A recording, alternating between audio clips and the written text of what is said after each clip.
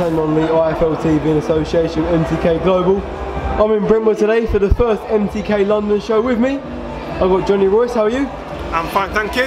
Good.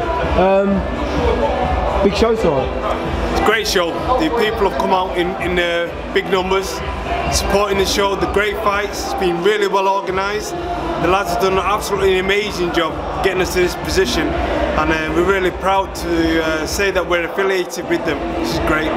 Obviously, um, as people can tell, you're from uh, up north in the Manchester region. Yeah. Um, MTK Manchester's booming uh, up that end, but uh, in London you've come down and you've brought a bit of spark with you. Well, the way that we see it, it's all one family. So location is, is isn't important, and who does what job isn't really important. We all just muck together. So if they need me down London, I'll be down London. If they need me anywhere else, we go wherever we needed. But the same family, you'll see all over all of our shows. Same family, all working toward the same goal. Uh, obviously, I know that Deco Geraghty was with you for for a while, Mm-hmm. um, and then moved on back to where wherever he went. Yeah, he had a tough fight uh, last weekend. Uh, what did you make of it? Um, Tennyson is a very good boxer, very good boxer, very good um, at what he does, putting pressure on. Declan is an absolute class act, and what he'd done there, I, I wouldn't suggest that he would have had a different result if he was anywhere else. That was just how it was on that day. But I know Declan, and Declan has got the heart of a lion. He will be back, and he will be back a hell of a lot stronger.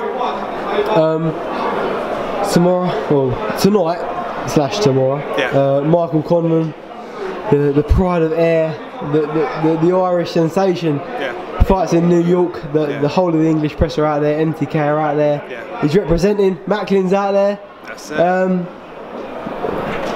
how big is he? is huge and he's only going to get bigger.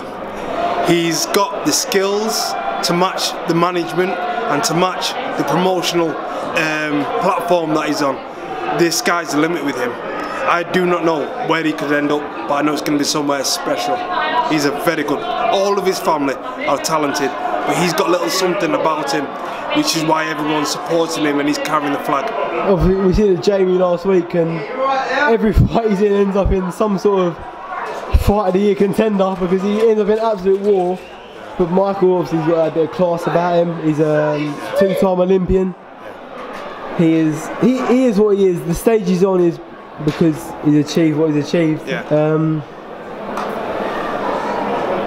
go on. I, I think, to be honest, um, yeah, they're a bit contrasting styles. Uh, with uh, Jamie, Jamie's is, is an absolute warrior, and his eyes are a bit of a problem. But to be honest, after watching when he's doing shadow boxing, his skin is that thin. Could probably cut himself shadow boxing, but it wouldn't stop him. I'm looking in his eyes when I'm working with him, and when I'm working on his cuts, he's not bothered if he's cut or not. He just wants to get in there and have a war.